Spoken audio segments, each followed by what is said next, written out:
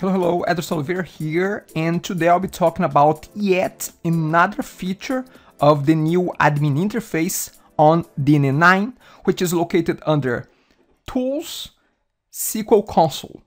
So first of all, let's map this out to where this was located previously on DNN 8, DNN 7. So if you go to the DNN 8 website, again, this is DNN 8, this is a DNN 9. You can find it under Host, Advanced Settings, and then you have SQL.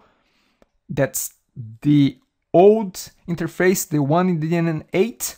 Very, in a way, very similar to what you see here on the new SQL console you can you have a drop down with uh, previously saved queries.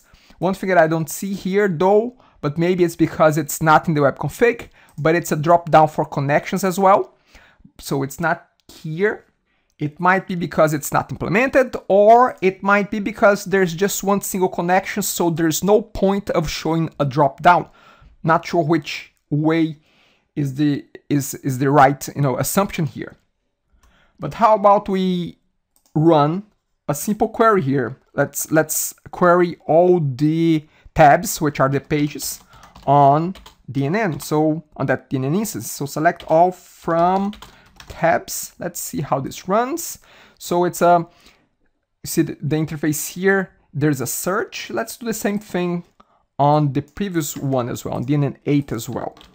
But the same one, run it, as you can see here, it's quite similar, but there is something here that there's it, it's not present on DNN8, which is a navigation bar. So it's limiting the view for 10 entries at a time. You can actually select more entries or less entries. And you have a navigation here, which again, different in add-on in addition to what used to be on DNN 8. Now let's have a look at the export here. So export, a few options, the same same options pretty much as you have we have here on DNN 8. Actually, let, me rephrase one thing.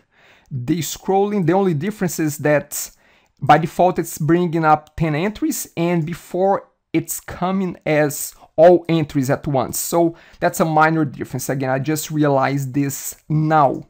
That's not that is present on, on the DNN 8 as well, and there's a navigation at the bottom as well. But again, just keep in mind that this is all very early stages.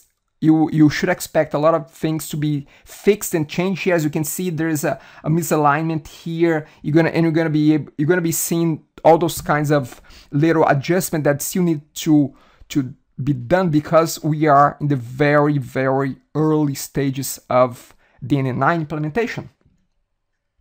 So the same options you have here, save query, run, run script, you have them as well in a slightly different location. And yeah, that's that. So it's pretty much the same functionality, but in a much faster, I to think of much faster way. Again, you can slide out by pressing Esc, and that's about it. So keep on the lookout for more quick reviews like that on features of the new DNN 9 admin interface and the persona bar. That's it for now, thanks, bye.